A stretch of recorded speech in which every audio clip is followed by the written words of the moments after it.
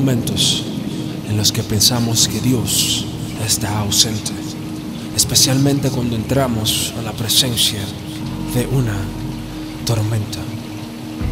Te hablo de tormentas de enfermedades, tormentas físicas, tormentas financieras, tormentas emocionales, tormentas familiares.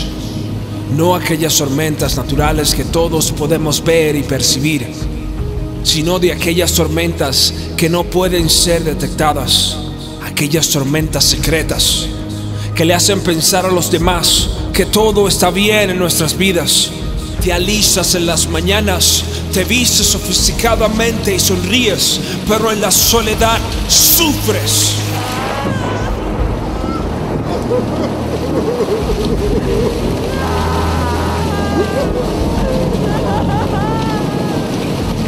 Cuando pasas por una tormenta que todos pueden ver, muchos se darán refugio al ver tu sufrimiento.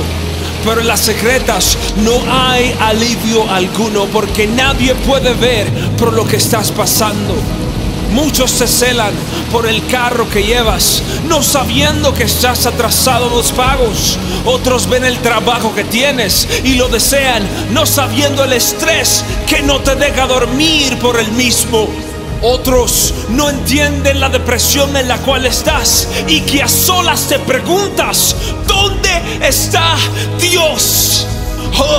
En su desesperación dijo, lo busqué a la derecha y a la izquierda y no pude percibirlo. Y nos seguimos preguntando, ¿dónde está Dios en nuestra situación?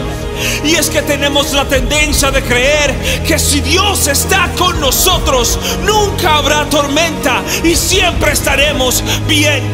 Reclamamos y decimos, si Dios está conmigo, ¿cómo me pasa esto? Mas Job perdió a sus hijos, su salud, sus finanzas y aún así se atrevió a decir, Jehová dio, Jehová quitó, sea el nombre de Dios bendito.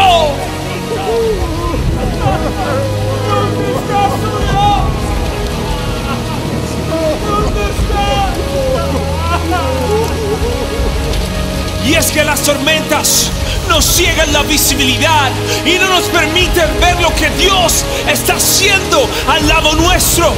En medio de la tormenta y de la tribulación, camina por fe y no por vista. Cuando pases por las aguas, Él estará contigo como lo prometió. Y mientras más fuerte sea la tormenta, más cerca Él estará. Revolucionario Music. Círculo armónico. Una revolución. Una revolución. Una revolución. Gloria a ti, Padre. Amén.